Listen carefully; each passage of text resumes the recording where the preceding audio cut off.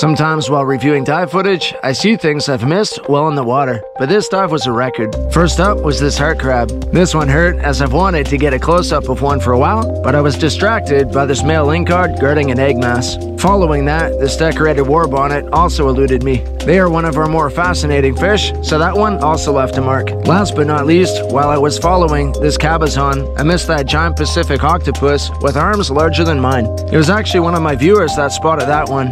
It's easy to get distracted with all the beauty that's in front of you, but moral of the story, slow it down, Chris. You're going too fast.